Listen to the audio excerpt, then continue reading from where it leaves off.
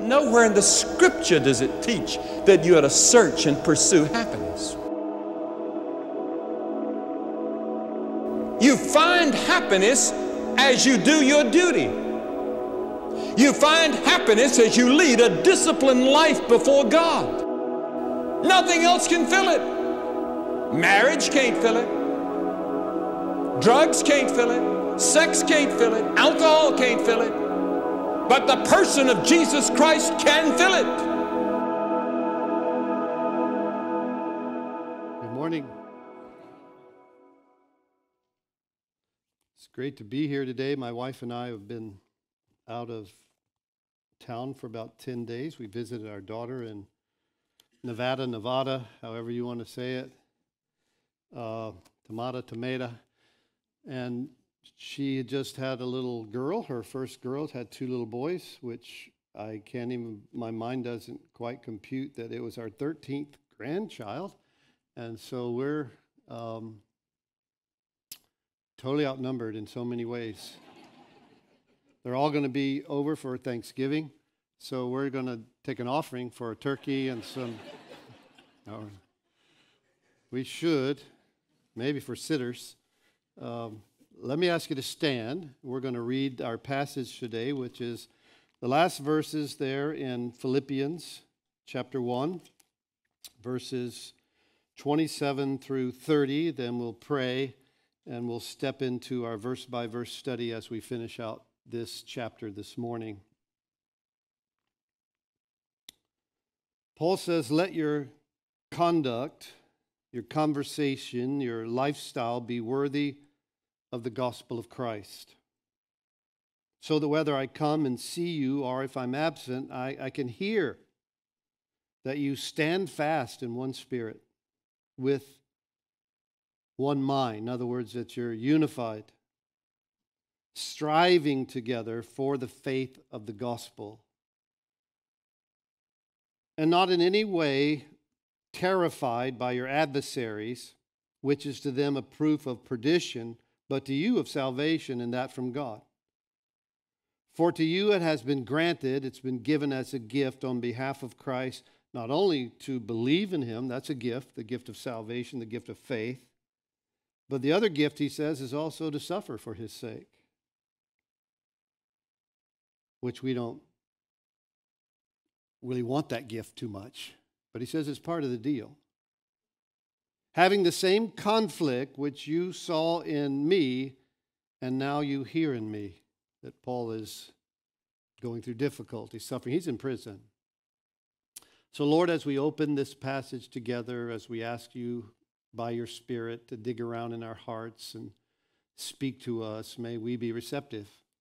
May our hearts not be hard or clouded by the cares of the world so much that we can't hear your voice, that your voice would be familiar to us, that it wouldn't be distant, that it wouldn't be unrecognizable to us, but that more and more and more we would recognize the voice of the one who says, My sheep, hear my voice. They know it. So speak to us today, Lord, and may you open our ears to hear all that you have to say we pray and ask and believe in Jesus' name. Amen. Amen. Grab a seat if you would.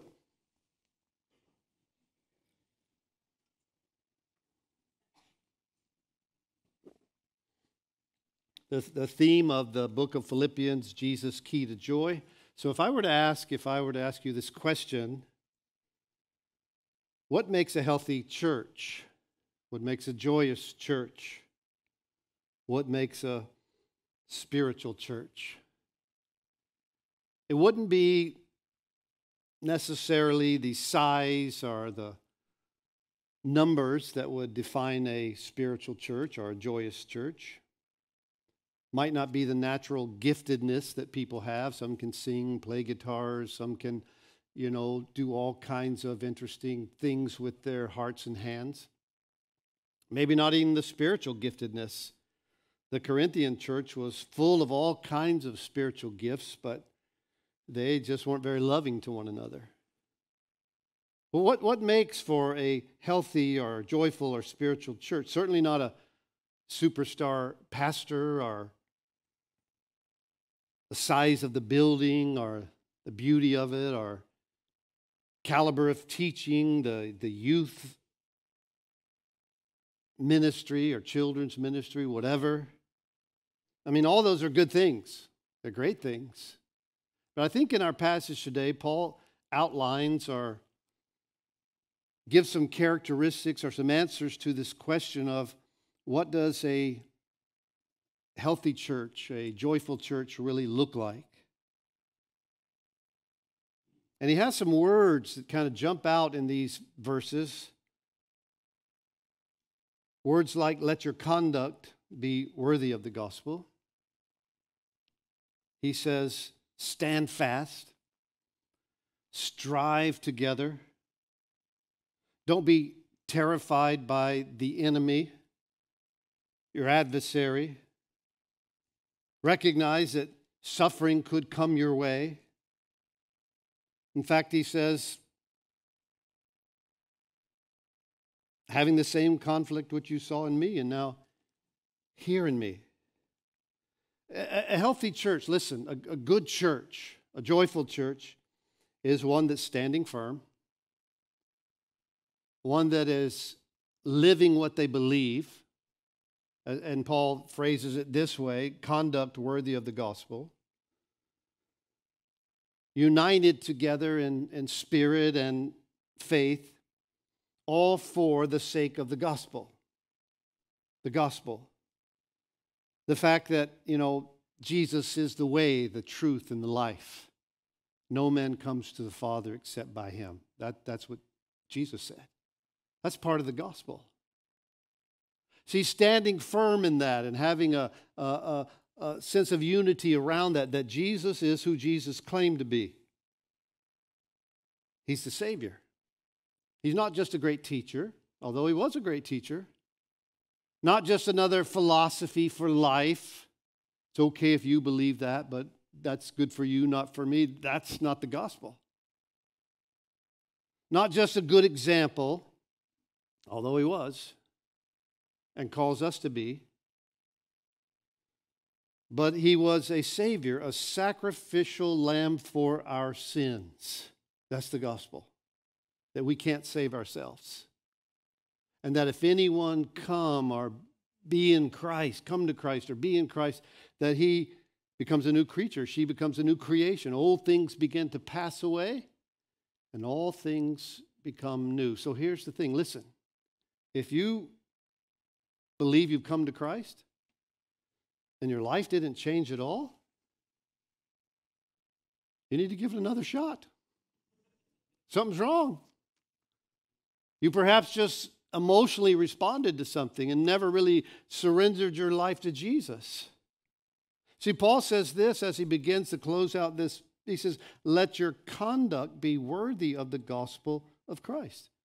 In other words, the way you live your life should reflect how worthy Christ is in your life. He speaks that to us individually and he speaks that to us corporately as a church. A healthy church is standing firm in the gospel, in its belief, and in its conduct. The gospel, the truth of a Savior that we all need, and the truth of the Scripture that we must all heed. The truth of the gospel that we need a Savior, and the truth of the Scripture that we need to heed because all Scripture speaks of Him. Jesus said that. He said, You search the Scriptures, but they speak of me and he is the epitome of the gospel. The scripture. In 2 Timothy chapter 3, we have these verses. It says, All scripture is given by inspiration of God, not just the parts we want to believe, but all of it. And it's profitable for doctrine, for reproof, for correction, for instruction in righteousness, that the man or woman of God may be complete. That means mature, thoroughly equipped for every good work. Or Paul would say it like this so that your conduct might be worthy of the gospel of Christ. So we have the gospel of Jesus Christ, he's a savior, and we have the scripture that speaks of that savior teaching us how to live the gospel, the truth about Jesus, and the instructions for living for Jesus. So he starts off by saying, Our position is this to let your conduct be worthy of the gospel of Jesus Christ. And that, that word, your, your conduct, your conversation, it says in the Revised Standard, your manner of life. It's an interesting Greek word. It's the Greek word politeuma. It's where we get our word, believe it or not, politics. That's scary, isn't it? But what is being said here is let your conduct be as a citizen of heaven. That that's your political stance, so to speak. It, it, it said you're in a, co- a community or a colony under a godly, heavenly government. That's your political stance. So live like you're in that group, like you're a part of that kingdom, a citizen of heaven. See, after a great battle, a thousand miles away from Rome, in a place called Philippi. Those who lived there in that place, in that community, assisted the Romans in that battle. And after the bloody battle ceased, the emperor decided, well, based on those who served, based on those who were a part of our battle, he decreed that all those in Philippi would now become citizens of Rome, which was a huge thing. With all its benefits, with, with, with all its privileges, they now became officially Roman citizens. And that was a big, big deal in that day because Rome controlled the world. And as a citizen of Rome, you had all kinds of rights and privileges that others did not possess. And so, what Paul is saying, after a bloody battle on the cross, when Jesus Christ shed his blood and his body was broken and then rose victorious from the grave, now we can choose to become citizens of heaven and are called to live as heavenly citizens with all the rights and with all the privileges of what it means to have a Lord and Savior, Jesus Christ. That's amazing. And so, this is what he's saying. Now that you've stepped into that world, now that you've received Christ as your Savior, now live like that. Let your conduct be worthy of the gospel of Jesus Christ. In the book of Philippians, later you'll hear Paul say it this way. Listen, in chapter 3, he says, Brethren, this is Paul speaking to those in Philippi, and believe it or not, speaking to you and I right now by the Holy Spirit. Brethren, sisterin, if you will, and join in following my example, Paul says. And note those who so walk, as you have us for a pattern, he says. For many walk, of whom I told you often, and now tell you even weeping, it breaks his heart, that there are some who are enemies of the cross of Christ. Their end, well, it's, just, it's destruction. And here's why their God is the God of the belly. In other words, their, their, their, their fleshly desires. Whose glory is, is their shame. The, the, the, they take great glory in the evil things they do. Their mind is just set on earthly things. He says, But our citizenship is in heaven, from which also we eagerly wait for the Savior, the Lord Jesus Christ, who will transform not only uh, from the inside, but our body, that it may be conformed to his glorious body, according to the working by which he is able even to subdue all things to himself. Paul says, see, there's a pattern, there's a way to live as a citizen of heaven.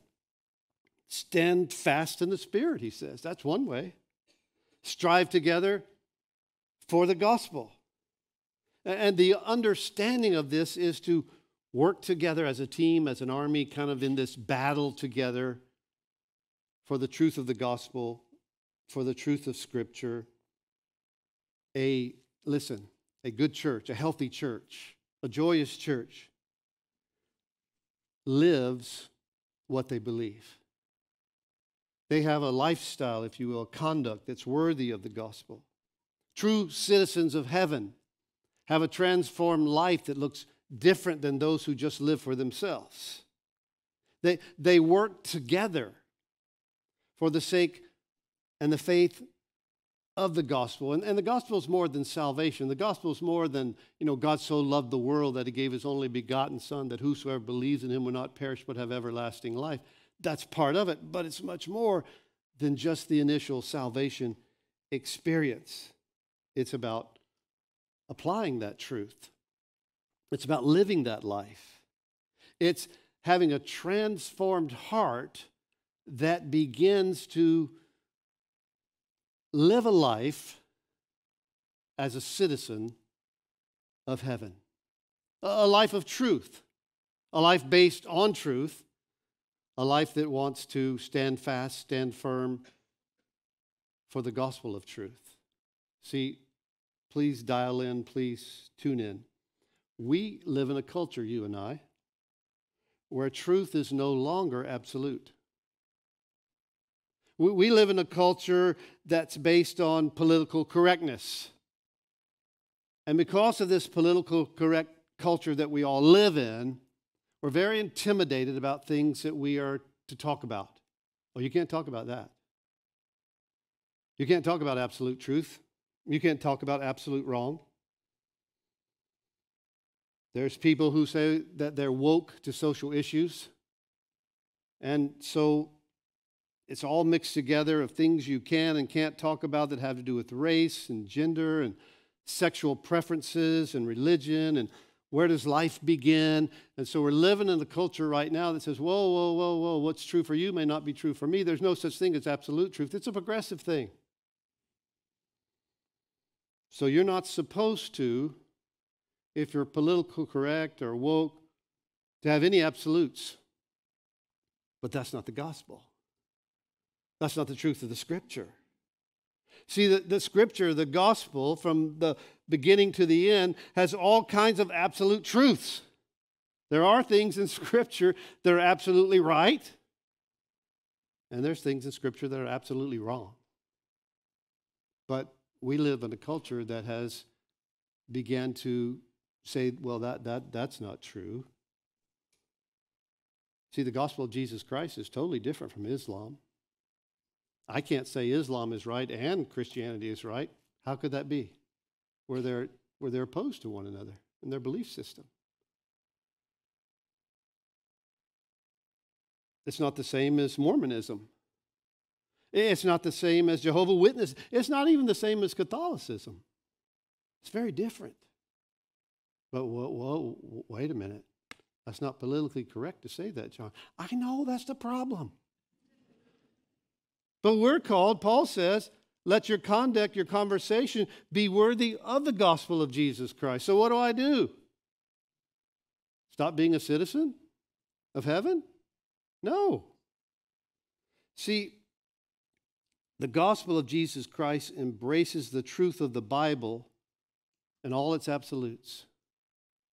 The truth about marriage from the very beginning.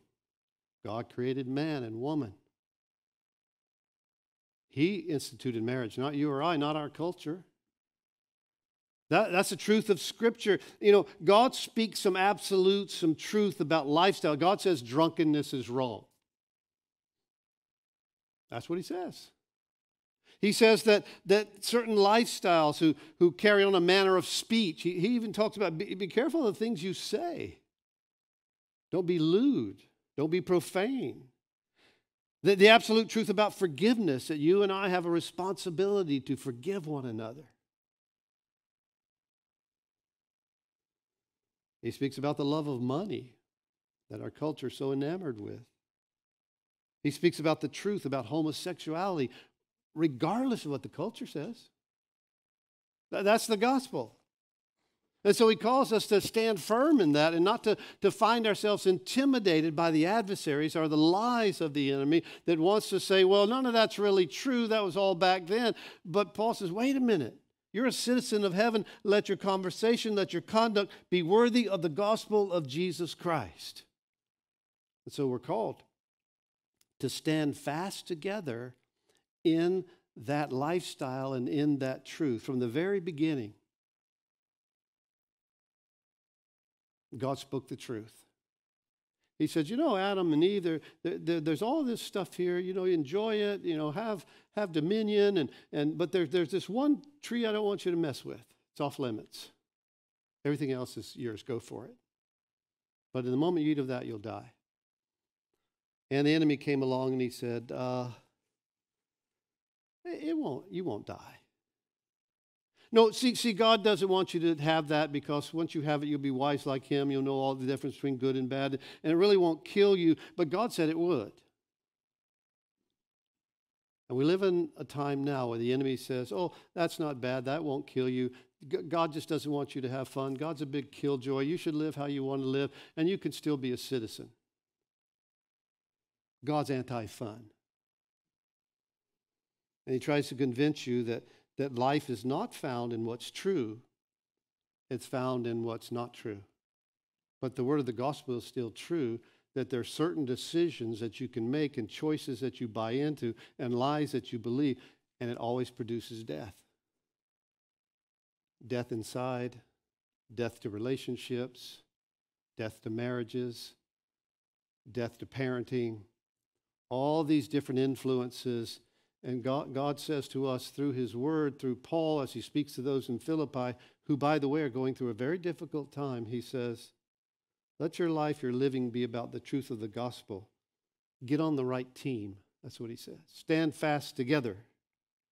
Be, be a citizen of heaven, a, a godly kingdom, and don't allow yourself to be intimidated by the enemy.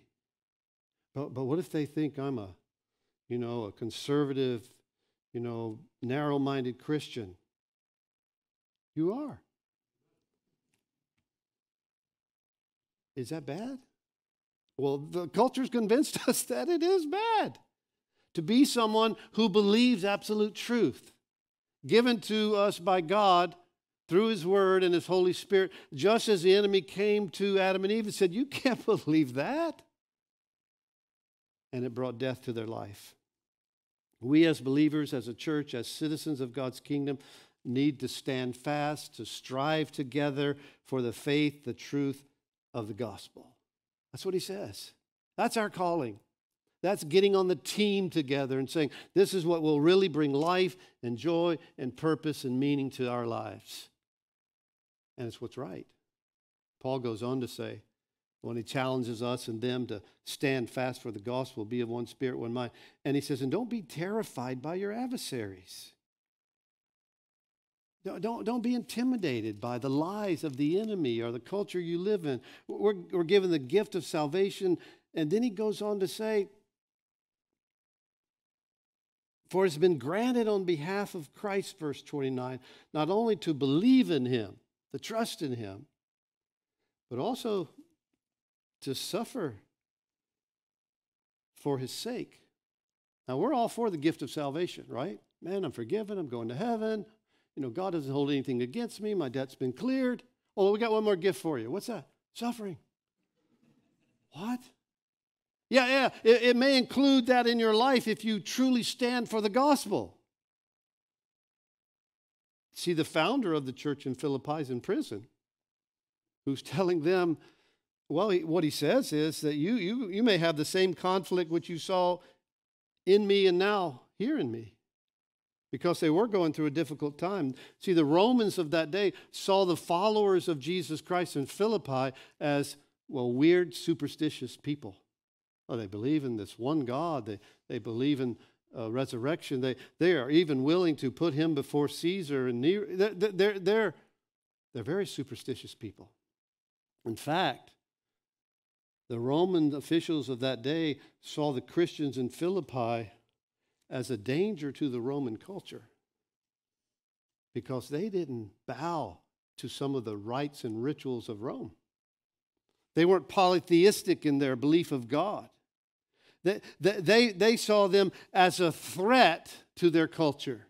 Sound familiar? They, they saw them as, whoa, we, we better be careful with these Christians because their viewpoints about life are so different. So Paul gives them this encouragement, this insight. He said it might even bring suffering into your life to follow Jesus. Now, we all know, please, please listen, we all know not all suffering is because we follow Jesus, right? Sometimes we suffer because of our own foolishness, our own sin, our own wrong choices. See, I could decide I'm going to drive 75, 80 miles an hour through Gulf Breeze. That'd be a smart choice, wouldn't it? The little bitty town with all the cameras going off, every red light. I, I would have a lot of tickets. Or I could say, you know what? I'm going to do a backflip off the dock down there at the end of the street into the water. I can't do a backflip. It'd be a backflop. It would be a bad choice for me. I, I, one time was in Utah with a group of friends about four years ago, and being a surfer, I thought, I can snowboard. Hey, I'm a surfer. I'm, Lynn, you get the skis, I got the snowboard. I got the helmet, I got the snowboard. I saw stars every five minutes. My shoulder was super swollen. I took lessons for three days. I could not snowboard. Lemon passed me laying in the snow with her skis. Finally, the guy I was there with, visiting with, he had this place we were staying there, and he said, John, you can do it. You can do it. Come on. So he took me up to this other place in Powder Mountain or something, and we're trying to do it, and I keep falling, and, and I'm like, I'm done. You know, I'm seeing stars every time my head hit the snow, my shoulder's swollen, my back's hurting. He comes over, come on, one more time, we're going up. I said, I'm just laying in the snow. I go, I'm finished, man, I'm done. He, he goes, no, no, one more time, one more time. I said, look, I feel like I've been in a fight with Mike Tyson. He bit both my ears off. he looked at me and he, laying in the snow. he goes, You're done. I go, Yeah, I'm done. So some suffering we, we bring upon ourselves.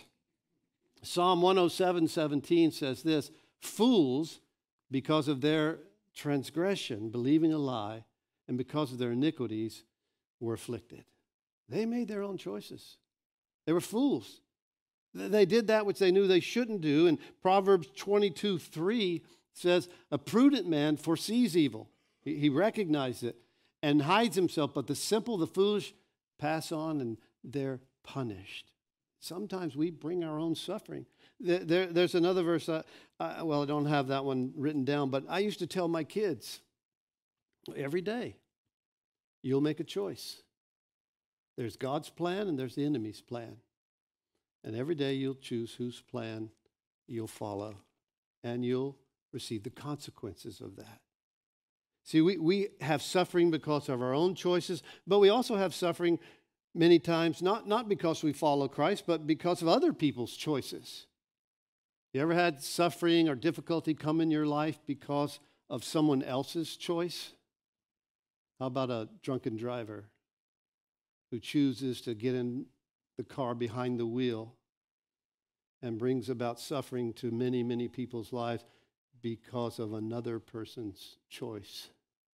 I think of the story of Joseph, who had received a dream from God, and how one day, you know, his brothers would bow to him, and how God was going to make him a great leader. And he goes and he shares this dream, be it boastfully or be it uh, excitedly, however the story is interpreted by you. He, it was a dream from God. He shared it, and his brothers, out of jealousy and envy, beat him, stripped him, and threw him into a pit, and he was sold as a slave.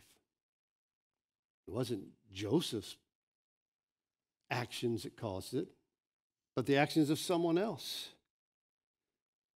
David, that, that great king who slew the giant and sort of rocketed to stardom, if you will, and that sing songs about him. And he became a great leader and he was trying to serve the present King Saul. And Saul would be so jealous, so envious that he would throw his spear at him and try to nail him to the wall.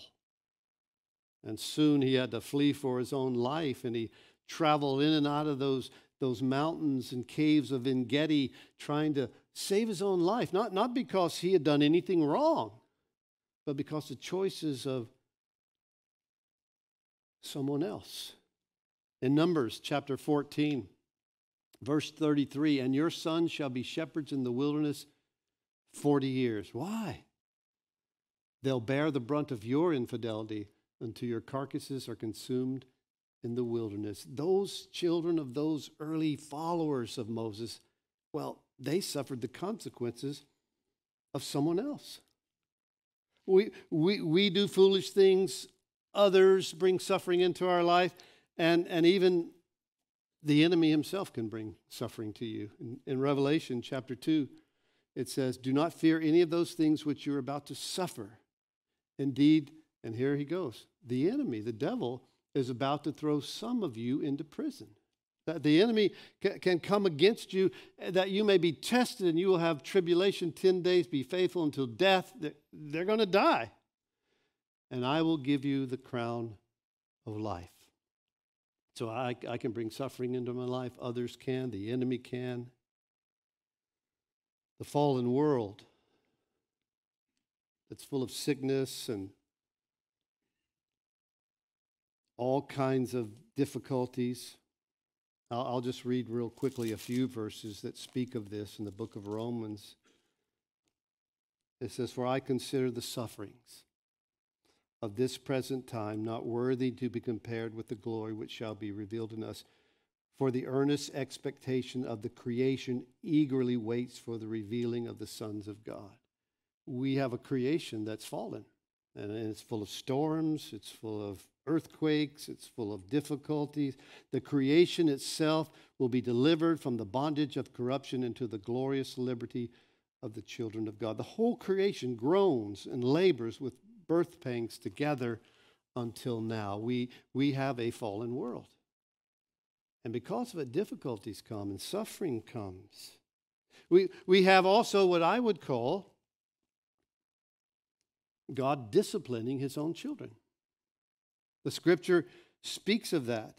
Uh, let me just read to you a scripture. Sometimes this brings heartache and difficulty into people's lives. In Hebrews chapter 12, it says, Have you forgotten the exhortation which speaks to you as sons or daughters? Do not despise the chastening of the Lord. Listen, let me have your attention.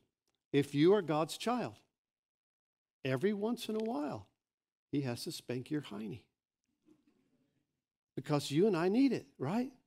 David said, It was good for me to be afflicted. I needed it. See, Hebrews chapter 12 speaks of that. It, it talks about that fact. Do not despise the chastening of the Lord, nor be discouraged when you're rebuked by him. For whom the Lord loves, he chastens, and he scourges every son whom he receives. A good parent a loving father disciplines their children. Are they grow up rebels. I, can remember having three kids growing up under me, and you know, there were times we had certain we had a certain kind of process that had to do with when they would be introduced to Mr. Spoon. And we would take them off by themselves. We'd explain the infraction, what they had done, very clearly, you did this, right? No, it's this. You did this, right? Yeah, you did it. Okay, you hit your sister, you lied, disrespected your mom, you, you, you destroyed some property, you, you did this. Once we got the confession out of them, then there was, well, the consequence. You know the consequence. We've talked about this. It's a spanking with the wooden spoon. And we'd spank them. They would scream and cry like we drove stakes through their heart, but we didn't. And then the next process was we would hug, we would restore. Price is paid. It's over. It's done. You're free. Go hit your sister again. No, what, what, you know, go. Be free. We'll see you next time.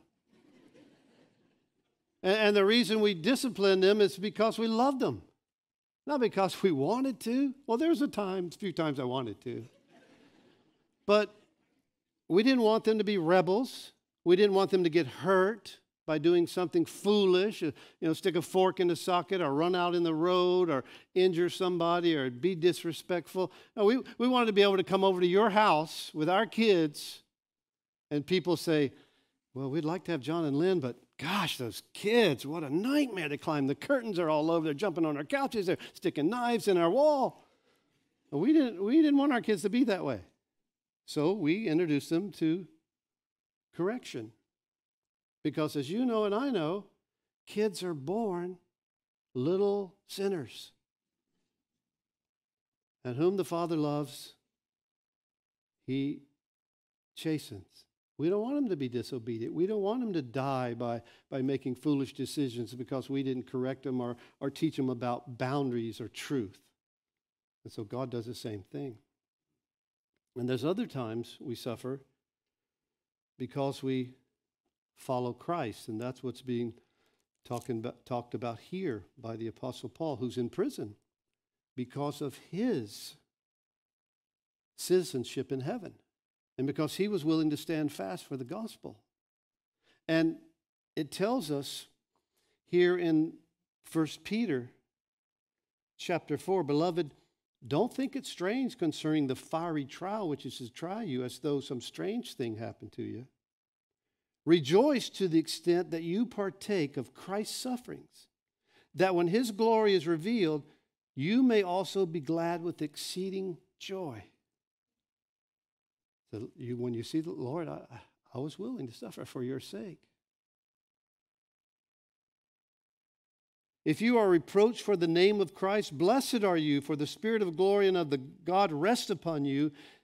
And on their part, he is blasphemed, but on your part, well, because you were willing to suffer, he, he's glorified. But don't suffer as a murderer or a thief or an evildoer or a busybody or, or other personal matters or if anyone suffers as a Christian, well, don't let him be ashamed, but let him glorify God in this matter. For the time has come for judgment to begin at the house of God, and it begins with us first. That will be the end of those who do not obey the gospel. If the righteous one is scarcely saved, where will the ungodly and the sinner appear? Therefore, let those who suffer according to the will of God commit their souls to Him in doing good to a faithful Creator. He says, Yeah, suffering may come into your life because you seek to be a citizen of heaven.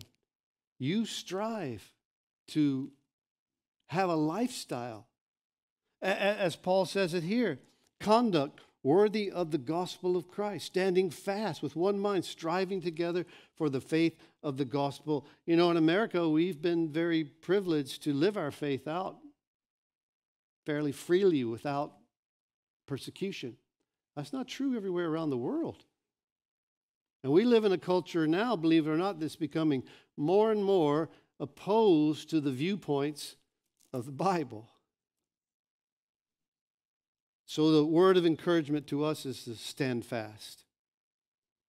We live, whether you know it or not, in a post Christian culture, you and I. It's not the same as it used to be. And so, this word for us is, I think, very current, very needed to hear. Let your conduct be worthy of the gospel of Christ. Because here's the thing sometime it's your conduct that speaks much louder than your voice could ever speak to those around you, to those at work, to those at school, to those who live in the neighborhood you live in. They see your life more than they hear what you have to say sometimes. Talk is pretty cheap.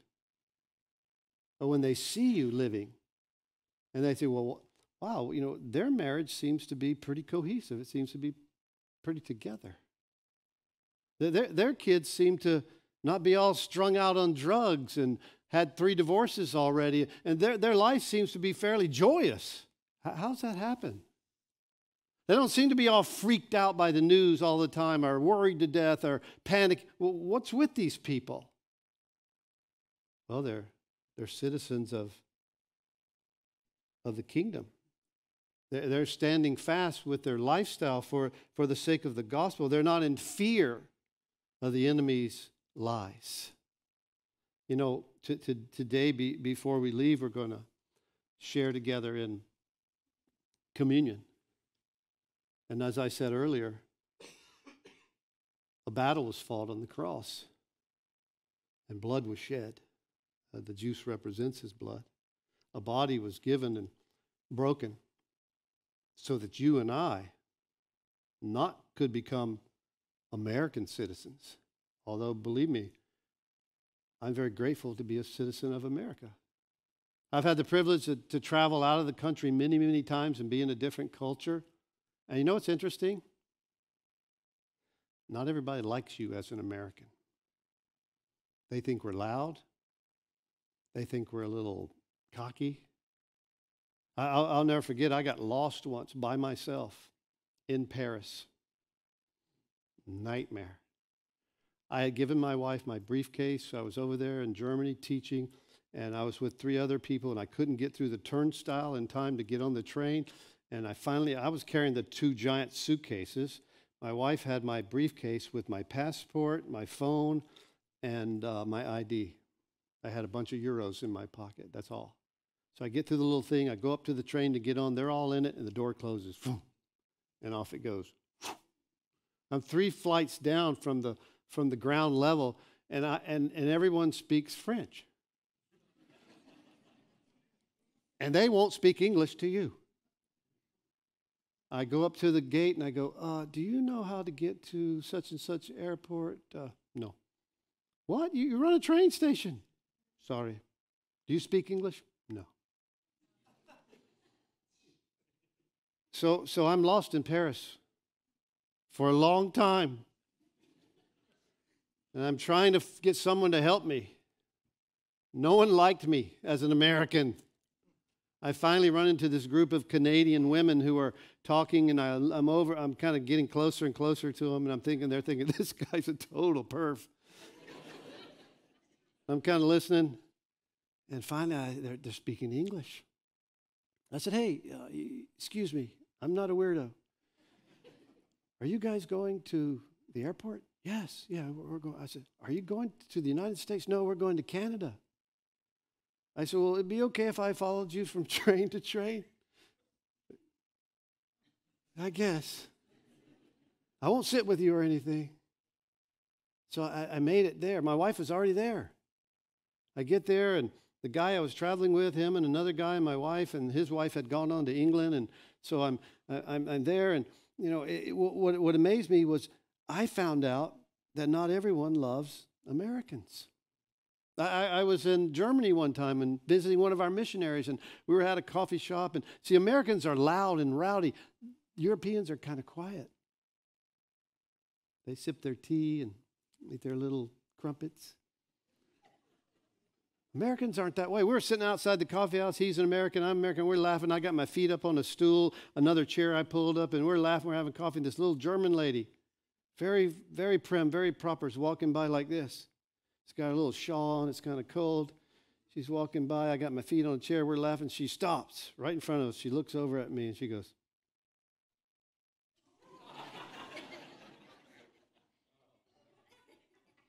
and then she walks off. I took my feet off the chair, sat straight up, sipped my coffee, you know.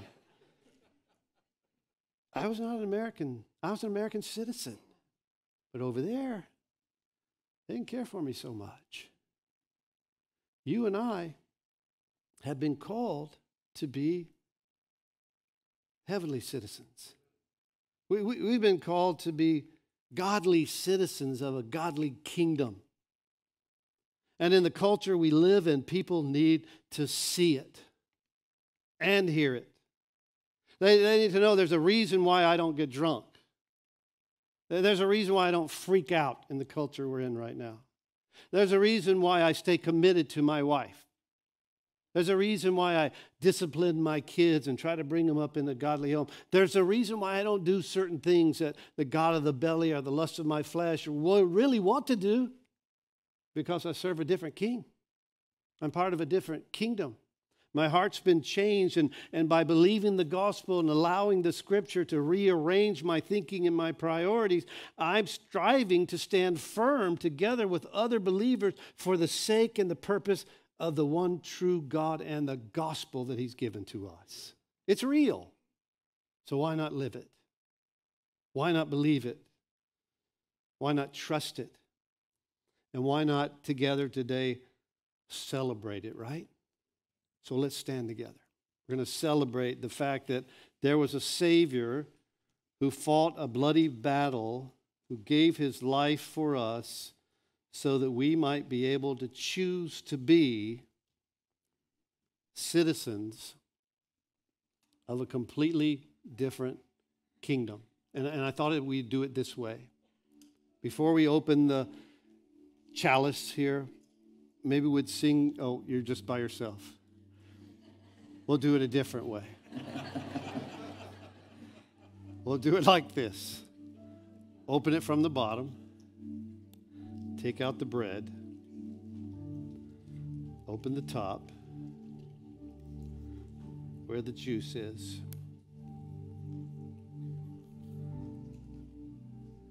And once again, a battle was fought. A sacrifice was given. God so loved you and I that he gave his only begotten Son who was broken for us. And if we would receive what he offers us, this eternal life, this truth of the gospel, not some watered down thing that we make up, but the truth of the gospel, then because of that blood and because of that body, we can become true citizens of heaven with all its rights and with all its privileges. And one of those privileges might be to suffer for his sake someday, regardless of what that is, how minor or how large.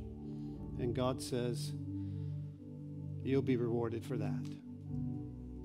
So today we celebrate our citizenship in heaven because of that battle, because of that victory. So let's eat and let's drink together.